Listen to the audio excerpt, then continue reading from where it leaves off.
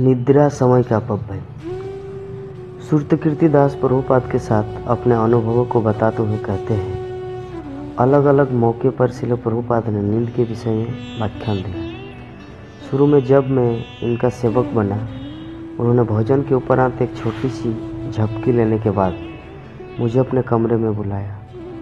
यह डलस मंदिर की बात है, जब शिल प्रभुपाद ने गुरुकुल की इमारत का दौरा किया। उन्होंने मुझसे पूछा कि क्या मैंने दोपहर भोजन के उपरांत आराम किया था? मैंने कहा, नहीं। यह कुछ ऐसा नहीं था कि उस समय किया जाए। उन्होंने कहा, मैं वृद्ध व्यक्ति हूँ। मैं एक समय पर बहुत अधिक नहीं सो सकता। इसीलिए दोपहर के भोजन के बाद झपकी ले लेता हूँ।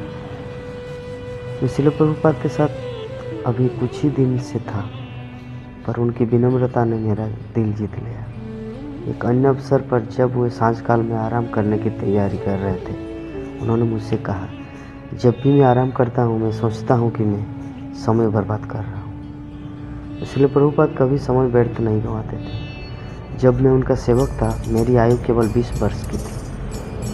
किंतु शिल प्रभुपाद जब अपने शिष्यों को अनुप्राणित करते, वे विश्व यात्रा करते तो मुझे उनके साथ तालमेल बिठाने में बहुत कठिनाई होती कभी प्रातकालीन भ्रमण के दौरान उनके शिष्य एक दूसरे को देखते, सिर हिलाते और सोचते कि शिल प्रभुपाद कब मंदिर वापस जाएँगे, क्योंकि वे तो चलते चलते थक गए होते थे। ऑल गोल टू शिल प्रभुपाद।